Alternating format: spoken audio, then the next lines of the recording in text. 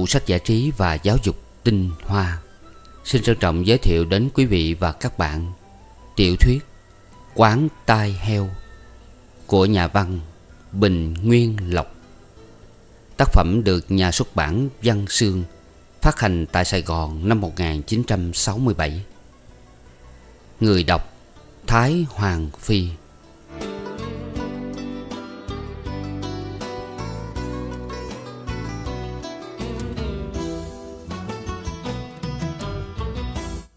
Tập 6 Tập cuối, Chương 7 Bọn người cao niên nhậu cừ, Nhiều tiền mà rất biết điều, Đã thêm xâm nhung vào thang thuốc suy nhược Cho con bệnh già quán tai heo. Nó đang ngáp gió, Để rồi thở phào phào trong một cơn hấp hối xót xa. Con bệnh ấy bỗng dưng khỏe trở lại, Rồi nhờ chịu thầy chịu thuốc, Nó hồng hào lại gần như xưa. Hai lọt sắm radio trăng chích to Mà ông ta ao ước từ lâu còn bà hai thì chuột lại tất cả nữ trang cầm thế từ mấy tháng nay. Ông hai cười to hơn bao giờ cả. Còn bà hai thì ba ngày đi đánh xẹp từ sáng đến chiều. Quán tài heo từ lúc mở ra đến giờ Chưa khi nào tiếp khách thanh niên cả. Trừ bọn dân nghệ sĩ ẩn thân này. Vì từ thổi giờ quán chưa hề có gái đẹp. Thanh niên không để mắt tới quán. Nhưng sao họ lại biết quán vừa thu nạp một cô thu ngân viên Đổ nước nghiêng thùng. Thành ngữ đổ nước nghiêng thùng là của họ dùng để tả linh quy. Biết thế, họ ùng ùng kéo đến để phá rối sự an ổn nơi đây. Đó là những anh chàng du đảng tiến bộ, Danh từ tân tạo để chỉ bọn Tết Di bồi. Đã biết bỏ những món phụ tùng cổ điển, Có tính cách tố cáo họ Là những đôi giày Santiago Những lối tóc tém, Những lối mai mặt không đứng đắn. Tuy nhiên, tác phong họ lại tố cáo họ hơn là quần áo giày tóc nữa những lão cao niên uống nhiều rượu Để buộc bo hậu Rút lui lần hồi vì họ đổ tiền ra để ngồi, Không dám cục cửa Thì quá ra dại lắm. Bọn vũ đảng tiến bộ bị mặc cảm rõ rệt. Hễ ai tình cờ ngó chúng một cái Là chúng ngỡ họ ngó mỉa mai Và gây sự ngay với kẻ rủi ro ấy. Hai lọt kêu trời Và bây giờ lão ta mới biết Lời đồn trong giới bán ba là đúng. Ở đâu mà bọn này lai vãng tới Là sớm muộn gì cũng phải dẹp quán, dẹp ba mà chúng có luôn luôn đem lợi đến cho cam. Để phá trời chúng uống nước ngọt, Uống nước đá lạnh. Quán không chịu bán cái món năm cắt một ly ấy Cũng không được với chúng. Nước ngọt thì hai đứa một chai, Quán tốn hai cái ly phải rửa về sau Và hai cục nước đá. Hai lọt thường than cho tình trạng này Và khẩn khoản yêu cầu bác Hải cho Nhật Trình kêu. Lão ta không biết rằng Nhật Trình có kêu Thì kêu tổng quát, Chứ không thể kêu riêng dùm cho quán tai heo Hay quán tai bò nào cả nhưng giả thử Nhật Trình có kêu thì ai sẽ làm gì chúng? Khách lánh chúng vì tác phong của chúng. Cảnh sát chỉ can thiệp khi nào chúng có hành hung ai. Mà ai cũng nhịn chúng hết, Thì cảnh sát làm sao có dịp can thiệp? Những ngày vui của Linh Quy đã hết. Nàng chỉ vui được có một tháng đầu thôi, Với mấy anh văn nghệ sĩ hiền lành. Có đùa thì cũng đùa một cách thanh nhã. Và từ lúc mà Hoàng gây sự với Tấn về sau, Cả bọn đều hồi tâm Xem nàng như một đứa em gái nhỏ ắt hẳn họ yêu nàng, Nhưng họ chỉ yêu thầm trong lòng họ thôi. Và chắc cũng có cậu định cưới nàng làm vợ, Nhưng không ai còn muốn nghĩ đến chuyện qua đường nữa cả. Những ngày vui của Linh Quỳ đã chết. Cô gái quê đi tìm sinh kế này cũng có Vì ham Sài Gòn mới lên đây, Chứ người ta vẫn có thể đi kiếm ăn ở nhiều nơi khác được. Tháng đầu nàng đã được toại nguyện, Nhưng rồi những người con trai phá phách một cách thô tục kia Làm cho đôi khi nàng khổ sở đến phát khóc trước mặt trăm người. Cho đến cô gái giang hồ vừa hoàng lương mà còn không chịu được, Thì một thôn nữ trong trắng Làm thế nào mà yên thân với những trận bắn đậu phộng rang vào người nàng mỗi đêm? Cho đến Hoàng cũng nghe khổ sở Như chính ả ta bị phá phách. Đàn bà, con gái, Cho dẫu trắc nết hư thân đến đâu, Họ cũng ghê tởm khi nghe những tiếng thô tục, Khi thấy những cử chỉ mất dạy. Nếu bọn con trai kia hay bọn khác mà biết được cái điểm tâm lý ấy thì chắc họ không dạy gì mà thô tục nữa. Mà sở dĩ những cái bực mình này mà xảy ra Cũng chỉ tại linh quy cả. Thường thì khách có sai khước Cũng chỉ dám cợt nhã với chiêu đại viên thôi. Thu ngân viên ở ngoài đám đất tung quanh của họ. Bọn này tên nào cũng đẹp trai Và ăn mặc chải chuốt, Khiến Linh Quy có cảm tình với chúng, Chịu để chúng bắt chuyện trong mấy ngày đầu. Rồi thì việc này thành nếp lần lần, Và đó là những cái nếp Cứng như được nhúng hồ rồi ủi ép. Những ngày vui đã hết, Và hễ tối lại là cả nhà. Bọn văn nghệ sĩ bây giờ cũng được kể như người nhà, Nơm nớp lo sợ chuyện không hay xảy ra. Những ông khách đứng đắn mà còn tới luôn nơi đây, Chắc cũng nơm nớp lo sợ như vậy. Nhưng họ chưa đi là vì còn tiếc không khí quán này. Đêm hôm nay, một đêm thứ bảy đầu tháng, Tức là đêm nhiều hy vọng nhất của nơi giải trí, Các quán ăn, Các quán giải khác ở Đô Thành. Hai lọt đứng gần cháu Nhìn khách lần lượt vào quán Bụng giái lầm thầm cho bọn trẻ ranh mà nhậu nhạt ly bì ấy Dung tha cho ông ta một đêm. Trước kia Ông gọi bọn văn nghệ sĩ là lũ quỷ ma. Nhưng thành ngữ mà ông dùng cho bọn ấy Có nghĩa rất thân mật, mến thương. Thành ngữ lũ quỷ ma Dùng gọi bọn du đảng này Bây giờ là dùng theo nghĩa đen thông thường Với tất cả ghê tởm mà thành ngữ ấy gợi ra. Cũng thời phá phách, bướng bỉnh, nô đùa Mà bọn đầu bù trang nhã dễ thương Chứ không phải vô duyên và thấy muốn bạc tai như bọn đầu lắng bóng này. Lão chủ quán mỉm cười chào bốn cậu bạn mến, Luôn luôn vào sau năm ba ông khách đầu. Từ khi quán có khách trở lại, Họ thấy khỏi cần tới thật sớm Để làm mồi hầu ủng hộ quán nữa, Bởi vì tới sớm quá là một cái khổ dịch. Lão ta nghe thương yêu bốn thanh niên này hơn bao giờ cả, Và xem họ như con cháu trong nhà. Mặc dầu ham tiền, Lắm lúc lão mơ gả cháu lão cho một cậu Trong bộ nghèo sơ nghèo sát này. Cụ Cát và Bắc Hải cũng được lão quý mến lắm, Nhưng không được lão thương Như thương bốn anh chàng điên Một cách dễ cảm động này. Cả bốn đều dừng bước trước quầy thâu tiền, Rồi cậu nào cũng thò tay vào túi quần Lấy ra một hộp diêm đặt lên bàn. Hai lọt và Linh Quy Lấy làm ngộ nghĩnh và chăm chú theo dõi từng cử chỉ của bốn cậu, Xem bốn cậu dở trò bất ngờ gì đây. Hoàng luôn luôn ở trong tình trạng báo động, Vội vã chạy đến để can thiệp, Nếu có cậu nào ló mồi quyến rũ Đứa em gái cưng của nàng. Dương Châu hôm nay bị véo gần nát bắp dế, Nên đã tỏ ra một người anh rể đàng hoàng. Mặc dầu anh ta vẫn còn mơ yêu cô gái chợ bưng. Tuy thế, nàng vẫn vui với cả bọn, Và như hai lọt và Linh Quy, Nàng chờ đợi bọn này dở trò. Đang đố. Đố Linh Quy, Vì trong mấy hộp quẹt này. Nhưng hãy khoan, Để anh đọc cái này. Tụi bay ơi, Hôm kia tao đi Mỹ Tho. À không, Định tường. Cứ quên địa danh tân tạo mãi. Tao đi thăm bạn dưới ấy Và bắt gặp tan chứng về một cuộc ve vãn của thằng Bắc Hải. Nó ve vãn ai? Lạ quá, Nghe nói nó không ưa gái mà. Không, Nó ve vãn nàng thơ. À ngỡ gì? Tao bắt được trong tập lưu bút của một nữ giáo viên, Một bài thơ con cốc của nó. Có chép lại không? Không, Tao học thuộc lòng. Bảo thơ người ta là thơ con cốc Lại học thuộc lòng.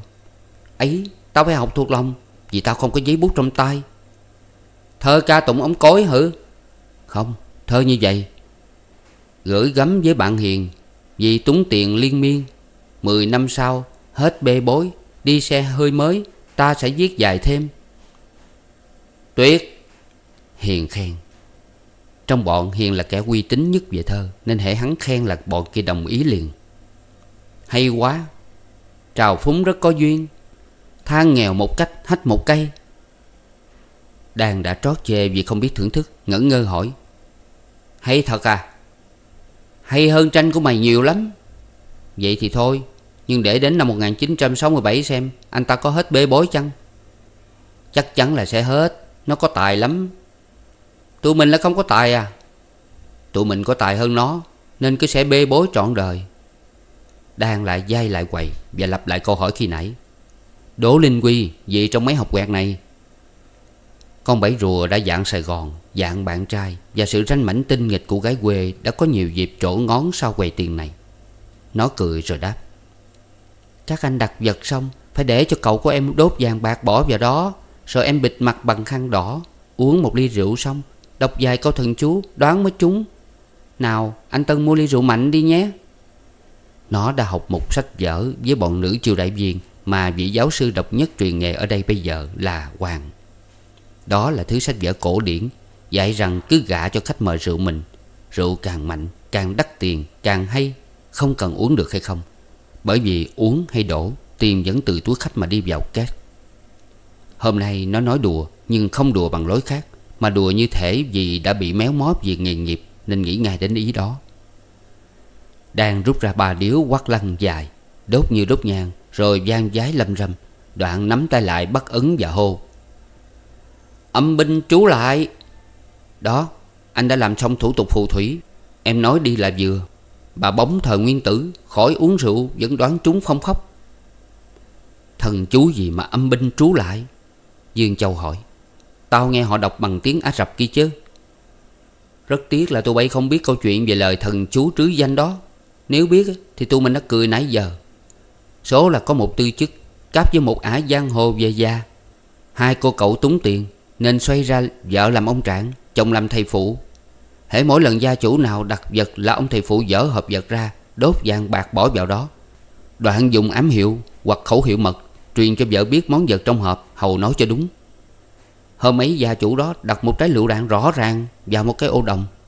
Hắn cũng dở thủ đoạn đốt vàng bạc thám hiểm Rồi hét lên câu thần chú mà tao vừa đọc khi nãy. Âm binh chú lại. Là một câu có vẻ phù thủy lắm đấy nha Nhưng lại giúp cho con mẹ hiểu ngay chú lại là trái lựu. Nhưng hôm đó tổ trác, Nên khi khách hiếu kỳ hàng xóm giúp ta chủ nhà dỡ hộp ra, Thì lại thấy trong đó một trái mãng cầu, Kỳ lạ chưa? Gia chủ và khách bèn áp nhau giác hèo rượt ông Trạng và chồng ổng chạy trối chết một bữa. Mày nói vô lý chứ Lũ làm sao quá mãn cầu được?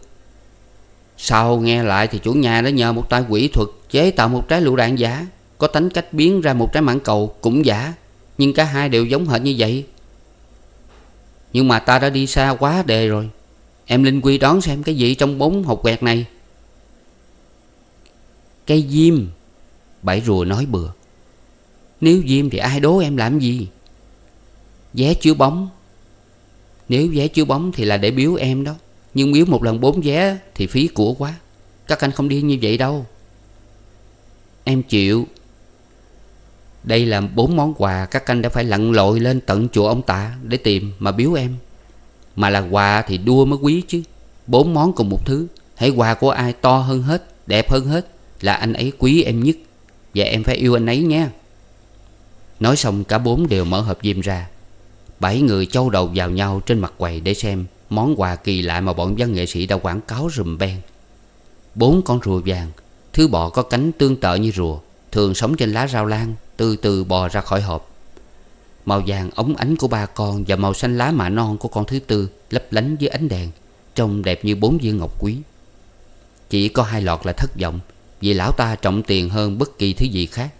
Và từ nãy giờ lão hy vọng Họ biếu cháu lão một thứ nữ trang gì nho nhỏ Như chiếc cà rá chẳng hạn. Hoàng và Linh Quy thì thích mê. Linh Quy còn trẻ con. Năm ngoái đây vẫn còn chơi rùa vàng với con nít trong xóm. Và bây giờ rùa vàng gợi nhớ làng mạc mến yêu. Nó dường như ngửi được mùi sàn giả tiết ra từ thân những con vật bé bỏng này. Hoàng tuy đã già, mà vẫn còn trẻ con như Linh Quy, Và nhất là ý thức hơn. Nàng biết rằng ở đất Sài Gòn này mà tìm cho ra bốn con rùa vàng để làm quà tặng bạn Là cả một kỳ công, Và có tha thiết lắm mới lặn lội ra ngoại ô để săn rùa. Ngoại ô có nhiều quà quý hơn, Nhưng họ chỉ chọn rùa vì họ luôn luôn nhớ đến tên Linh Quy, Tức là rùa. Đó là một điều mà Hoàng thấy là rất đáng kể, Nên nàng cảm động lắm. Hai lọt đã ngẩng lên trình khách, Không còn thiết đến mấy món quà không đổi ra tiền được ấy. Nhưng sáu đầu xanh vẫn còn trâu lại với nhau để theo dõi, Bước lần dò của bốn con rùa tí hon, Đang ngơ ngác trước một khung cảnh lạ lùng. Tiếng động cơ nhỏ nổ rền trời ngoài cửa Mà sáu người mê say rùi vàng vẫn không hay biết. Hai lọt và những ông khách khác nhăn mặt rồi bịt tay lại. Những kẻ sử dụng xe gắn máy nôm thấy phản ứng của người trong quán, Thích chí hết sức Nên lại còn cho máy nổ già hơn. Khói của bảy chiếc xe đầu độc cả bầu không khí Như tiếng nổ của nó đã đầu độc sự yên tĩnh nơi đây. Xem chừng hành hạ người ta đã đủ rồi. Bọn này tắt máy và rần rộ đi vào quán. Thấy bọn đầu bù bu quanh quầy thâu tiền. Và cả cô gái xinh xinh ngồi kết cũng châu đầu với họ. Chúng sáp lại chen lấn Để đứng sát quầy xem coi có trò gì ngộ nghĩnh nơi đó. Bọn du đảng không ghét bọn văn nghệ sĩ lắm, Như chúng đã ghét bọn du đảng khác. Vì chúng quan niệm rằng, Bọn này lôi thôi như thế thì không phải là địch thủ của chúng về mặt tán gái. Bọn này cũng không bao giờ thèm nhìn chúng, Nên không hề gây mặc cảm cho chúng. Tuy nhiên, chúng như không ưa họ được, Vì họ đã dám là họ. Tỏ ra ta đây cũng khá bản lĩnh chứ chẳng vừa. Chợt thấy bốn con rùa rao lan, Chúng reo lên. À ngộ quá ta. Có thứ này mà gắn lên áo cô kết xe thì tuyệt. Nói rồi một đứa lượm một con rùa vàng. Đoạn với tay đặt con rùa lên vải áo choàng của Linh Quy Mà lại cố ý đặt đúng ngay vào chỗ lồi nhất trên ngực cô Thu Ngân Viên này. Linh Quy giận tím mặt, hất tay gã ta. Gã cười ngất và cả bọn đều cười rộ lên. Rùa leo núi tụi bay ơi! Nhưng có hai quả núi thì phải hai con. Nói đoạn, một đứa khác lượm một con rùa nữa. Toàn tái diễn cái trò mất dạy của thằng thứ nhất. Linh Quy ngã người ra sau hua tay lia lịa và hét. Mấy anh không được phép chơi như vậy. Để anh gắn hộ soàn cho em mà em. Tên ấy chồm tới, Thiếu điều nằm trên mặt quầy, Quyết gắn rùa lên ngực Linh Quy cho được mới nghe. Dầu không được nữa, Tấn nắm lấy tay hắn. Ngạc nhiên vì lần đầu tiên trong đời hắn Có kẻ cả gan dám có thái độ ấy. Hắn nhìn Tấn dây lát, Đoạn trấn tĩnh lại. Hắn cười gằn hỏi. Anh muốn gì? Của anh hả? Ý hắn muốn hỏi, Cô Thu Ngân Viên là nhân tình của anh hay sao Mà anh binh vực cô nàng như vậy? Nhưng Tấn lại có ý hiểu khác Và trả lời khác đi. Vì quyền sở hữu về một cô gái mong manh quá, Không thể dùng nó mà cãi lộn để thắng ai.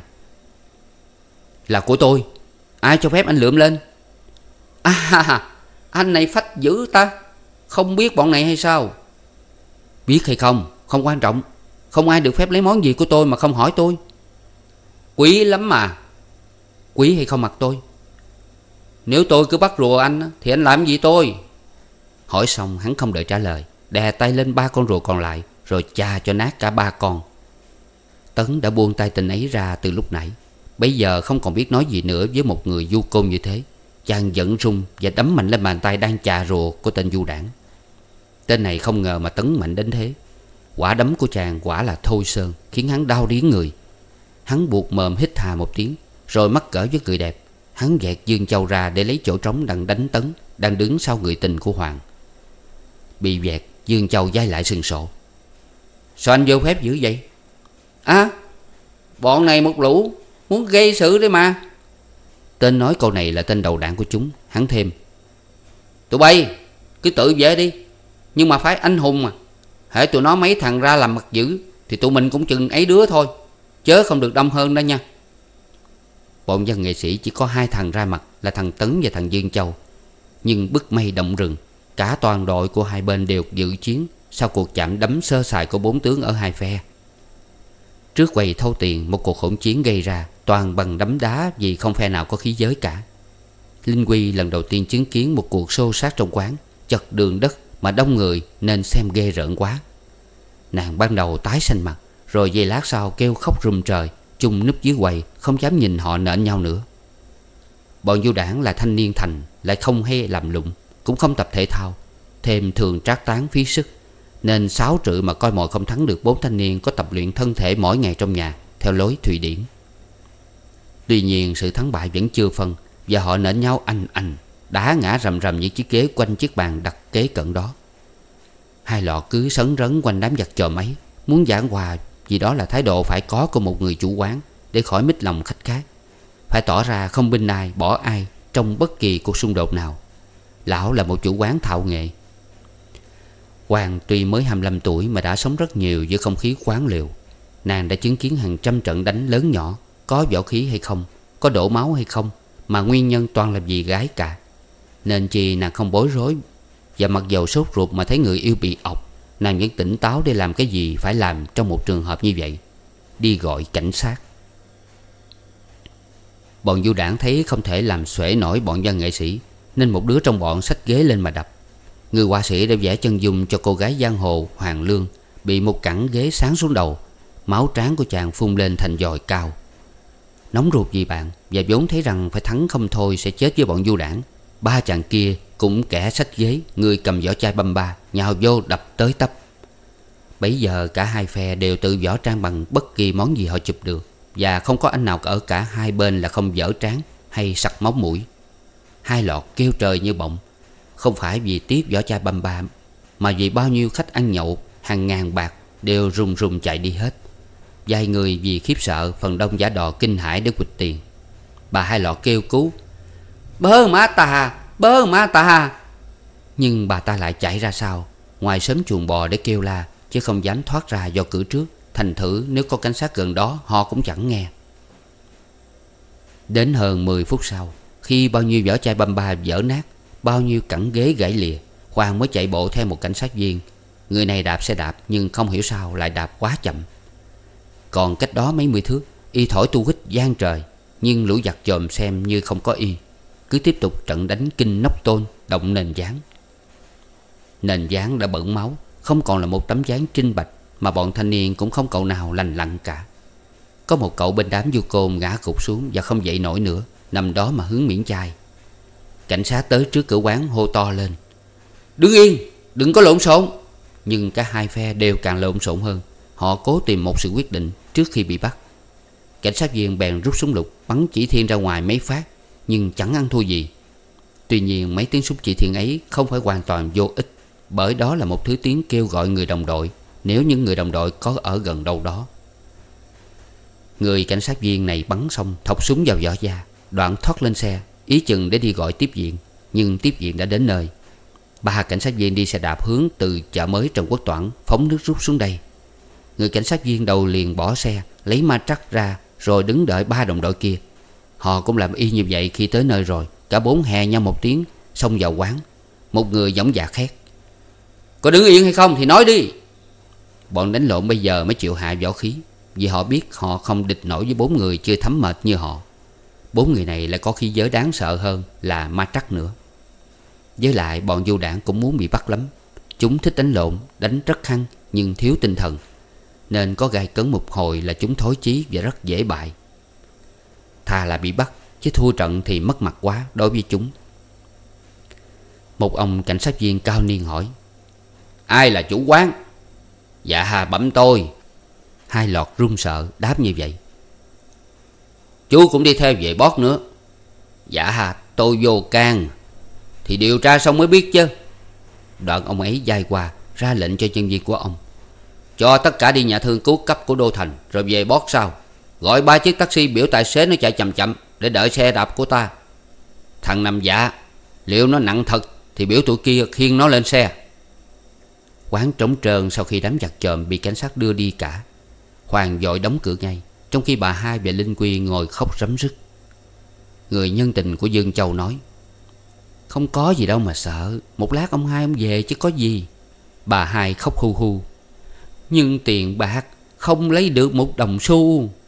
Hoàng bật cười.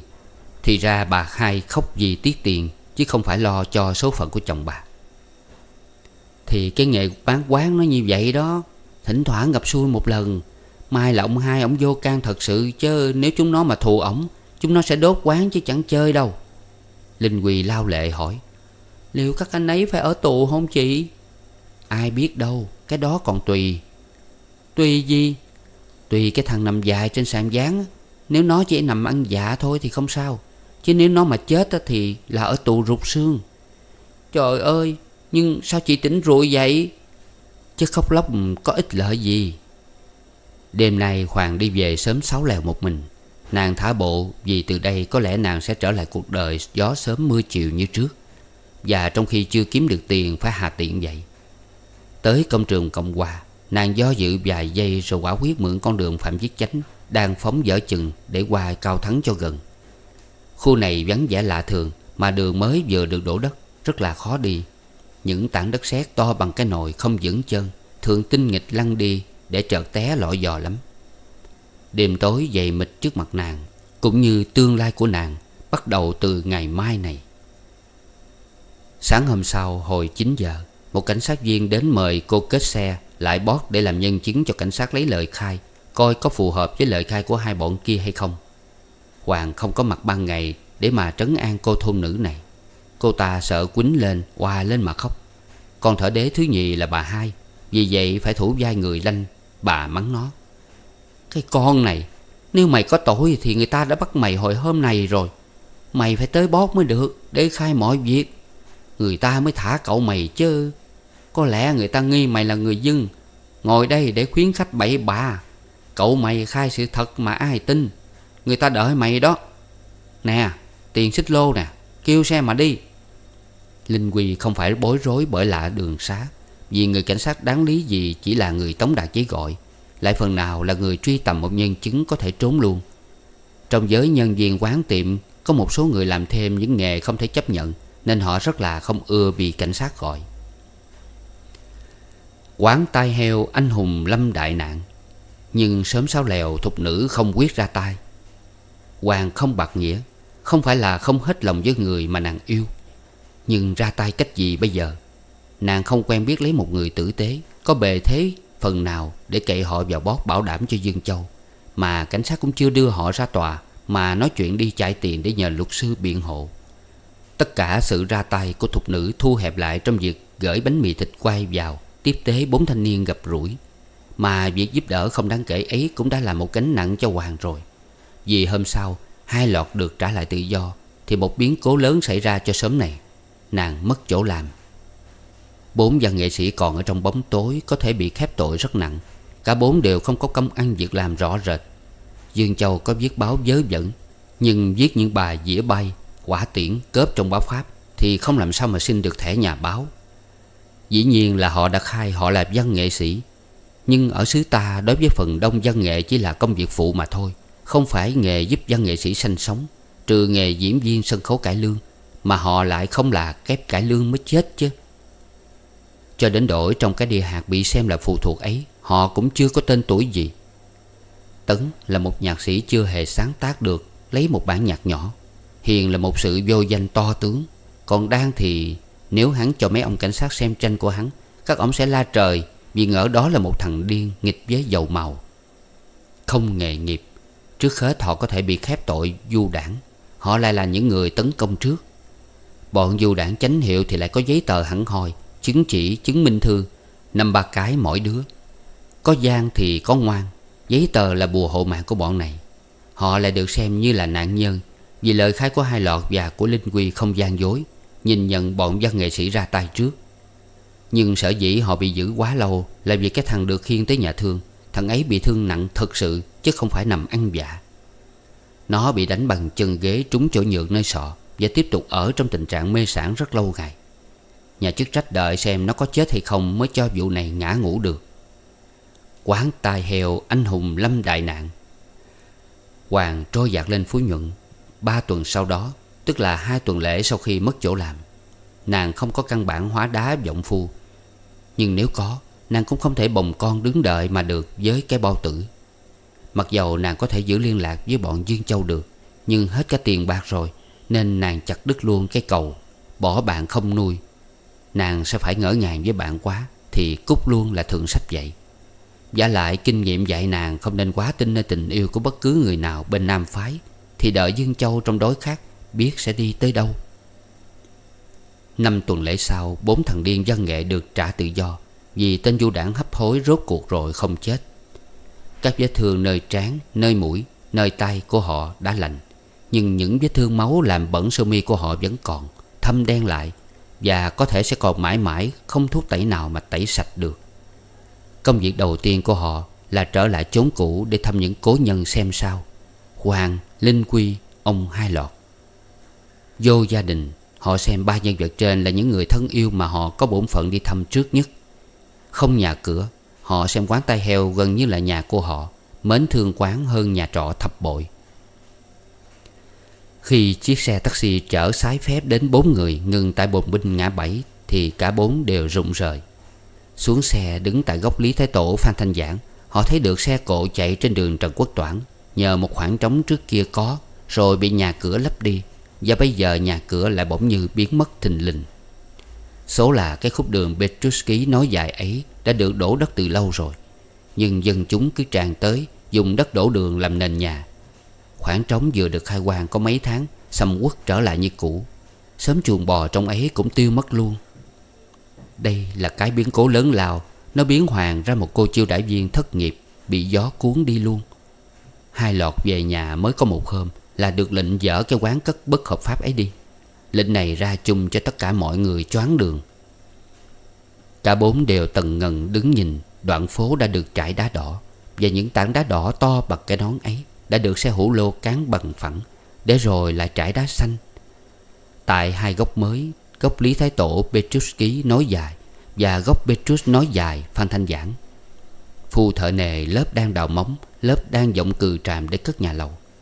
Nhưng bên trong chưa có gì rục rịch Và những nếp nhà lụm thụm Còn sót lại sau cuộc giải tỏa, Đang ngơ ngác và ké né nhìn con đại lộ tương lai. Mà tháng tới đây sẽ là một trục giao thông quan trọng Được phủ nhựa.